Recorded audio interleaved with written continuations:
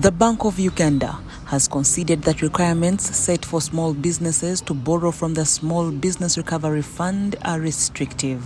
Bankers are bothered about the low uptake of the Small Business Recovery Fund and the Agriculture Credit Facility. They have today gathered in Kampala to draw new measures that would entice the public to get these loans. According to Michael Ating Igo, the Deputy Governor of Bank of Uganda, out of 200 billion shillings that was put in the banks by government as a small business recovery fund in 2021, only 6.5 billion shillings out of this money has been borrowed by the small business entrepreneurs, leaving the biggest portion lying idle in the banks. The base for this fund is about 200 billion. And since its establishment, under 7 billion has been dispersed. So it really begs the question, what is the problem? Yes, one can say that, you know, these guys are borrowing very, very small amounts of money. I know I was looking at one application that was recently approved, was some young lady whose salon had been affected by the lockdown, so she wanted to buy more of these air dryers. And the amount of money they were asking for was about 500,000, 1 million. So one can argue that there are many applicants, but the amount of money they're taking is small. But still, that's not strong enough reason to address a sector that employs 3 million people, accounts for 90% of the private sector, and 70% of the national economy.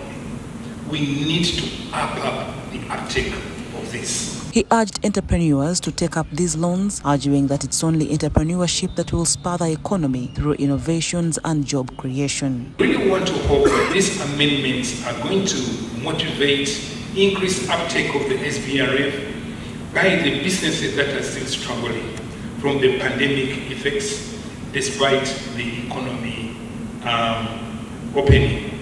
So we really want to hear from you. Advised the minimum um, number of employees. Initially, it was five, five people to 49, and this was uh, informed by the policy on SMEs with the Ministry of Trade. But now, in practice, most of these businesses are informal businesses. They employ family members. You find somebody has their wife or their brother in these businesses. And so then we had to say, okay, let's minimize from five to two, between two and 49 persons. So we are hoping that these improvements are going to trigger increased lending because government set aside 100 billion to be countered by another additional 100 million by the participating financial institutions. Again, SBRF and SEF, they work pretty much the same.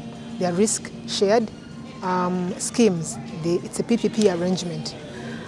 And so the financial institutions are expected to contribute another 100 billion through the, the, the, the, financing arrangement because the way it works is that they, they appraise the, the borrower and lend 100%, then they will claim from Bank of Uganda the 50% component of government of government of Uganda. The fund which was established in November 2021 requires that for a business to benefit they must have a turnover and total assets of 10 million shillings and 100 million shillings respectively, employ between 5 and 49 persons and that the money borrowed from the fund cannot be used to pay existing loans. Financial institutions argue that it's these requirements that have been key in locking out small businesses, many of which continue to struggle with the effects of the COVID 19 pandemic.